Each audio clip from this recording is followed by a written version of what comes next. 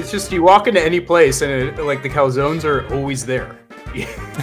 like they're not they're not flying off the shelf. Like, yeah, yeah. That's totally true. Like you'll have the display for the pizza where like the pizza's spinning and is staying nice and warm, and the calzone's like, "Let me go to the freezer in the back for a second. Yeah, I'll be yeah, right. yeah.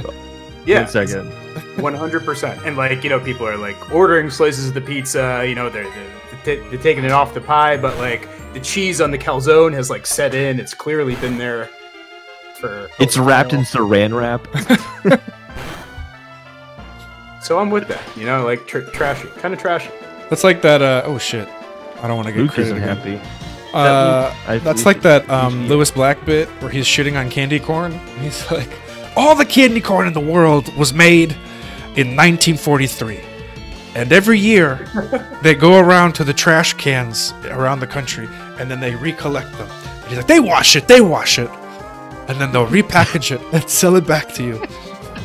That is classic 2008 Lewis Yeah. Black for or whatever that was. Yeah, It's also true though. Like, It's so I'm true. immediately suspicious of people who like candy corn. Like, Yeah. really? You do?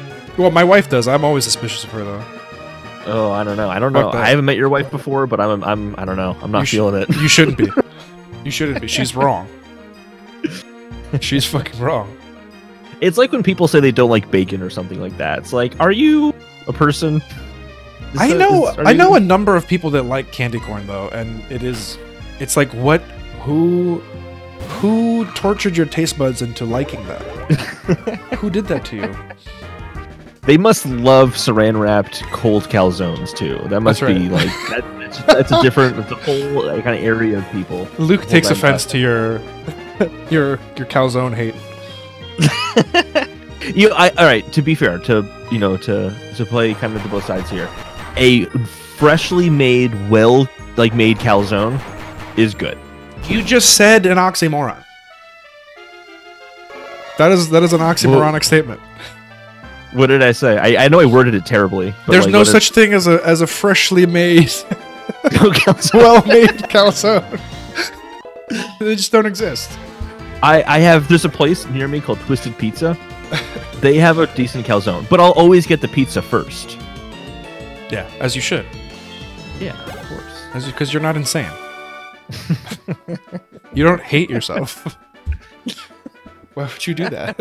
I'm so depressed today. I just need to have a calzone. Yeah, dude. Yeah, that just reeks of again talking about comedians' bits about food. Uh, there's a really good Patton Oswalt bit about the famous bowl at KFC.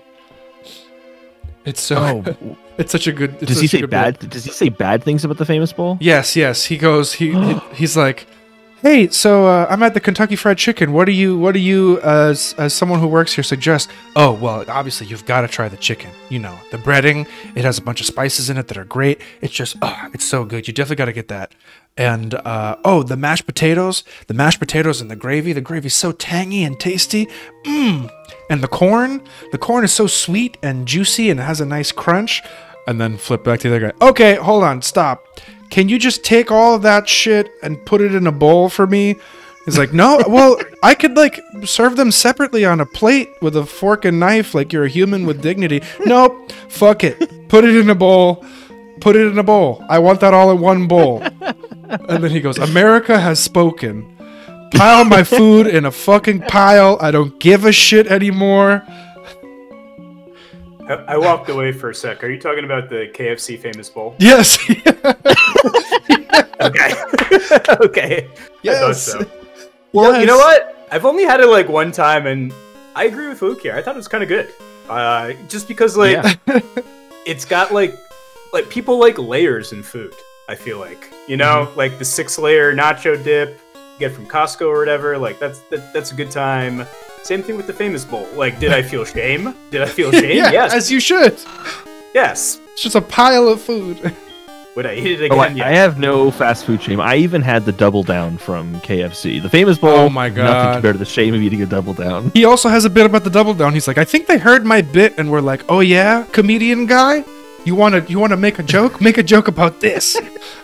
the double down is literally It like the patties are chicken yeah, it's, it's basically a cheese and bacon sandwich where the bread is chicken. That's basically what it is. So it's two patties of chicken with bacon and cheese in between.